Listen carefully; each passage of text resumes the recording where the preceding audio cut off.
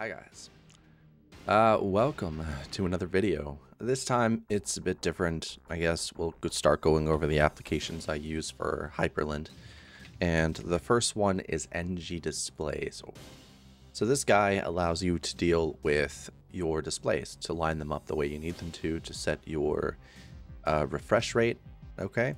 And to do anything else that you need to do. Because eventually I hope they add HDR support you know, SDR brightness, SDR saturation, uh, color management enable button.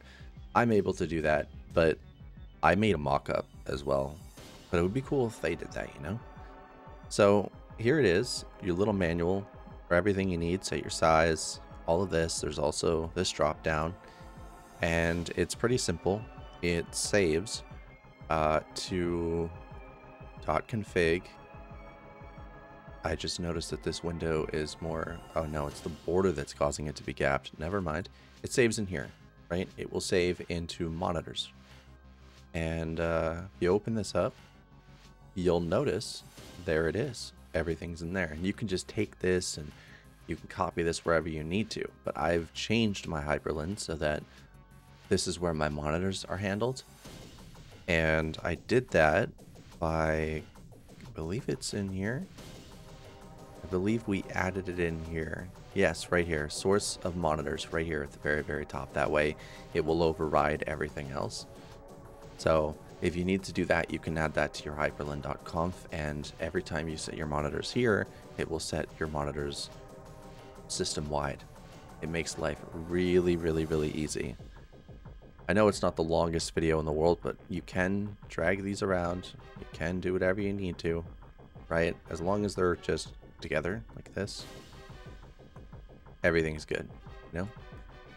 So this is this monitor right here. This is the Dell, and this is the 1440p 1080 hertz, and this is the uh, the same monitor as this one. The only difference is it's on HDMI because 9070 owners are screwed over, and we only have two display ports instead of three and one HDMI.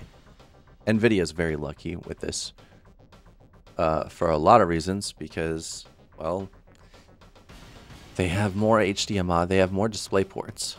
And that means my monitor will never run at its full uh, 180 hertz. It's not the most annoying thing in the world. I mean, I can get 4K out of it, but it's still kind of a letdown.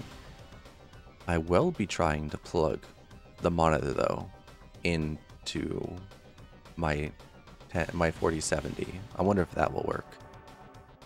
Uh, because I would like to have all the monitors at the, at the same hertz. Just realized I could probably do that.